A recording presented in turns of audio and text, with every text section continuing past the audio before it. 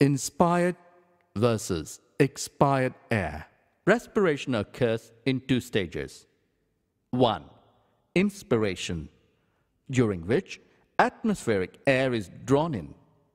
And 2. Expiration, in which the alveolar air is released out.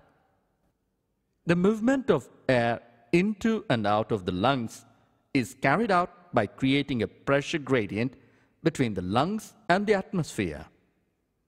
When the air pressure within the alveolar spaces falls below atmospheric pressure, air enters the lungs, resulting in inspiration. That is, there is a negative pressure in the lungs with respect to atmospheric pressure, provided the larynx is open. Similarly, expiration takes place when the air pressure within the alveoli exceeds atmospheric pressure. Air is blown from the lungs.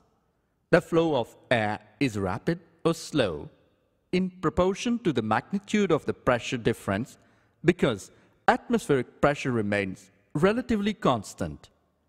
Flow is determined by how much above or below atmospheric pressure the pressure within the lungs rises or falls.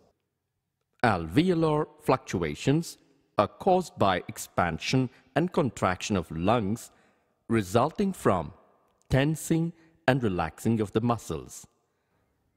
Inspiration is initiated by the contraction of diaphragm which increases the volume of thoracic chamber in the antero posterior axis in the contraction of external intercostals muscles lifts up the ribs and sternum causing an increase in the volume of thoracic chamber in the dorsoventral axis. The overall increase in the thoracic volume causes a similar increase in pulmonary volume. An increase in pulmonary volume decreases intrapulmonary pressure, which is less than atmospheric pressure, which forces the air from outside to move into the lungs. That is, inspiration. Relaxation of the diaphragm and intercostal muscles returns the diaphragm and sternum to their normal positions and reduce the thoracic volume and thereby the pulmonary volume. This leads to an increase in intrapulmonary pressure to slightly above the atmospheric pressure, causing the expulsion of air from the lungs. That is, expiration.